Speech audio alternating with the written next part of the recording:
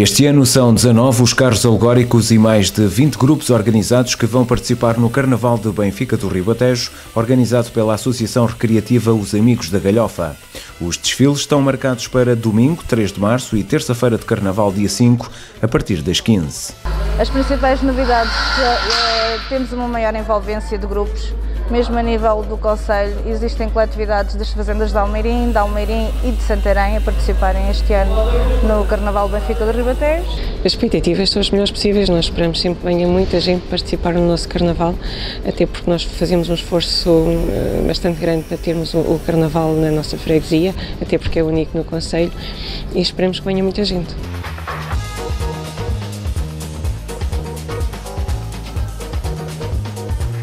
O ano passado éramos 5 ou 6, este ano já somos 15. Tenho, tenho que fazer um agradecimento muito especial ao arquiteto Lico, uh, que nos cedeu este barracão, porque nas antigas instalações não conseguíamos fazer tantos carros. E, e a Câmara de Almeirinha, junto de freguesia, ajudaram-nos a, a com que isso se concretizasse.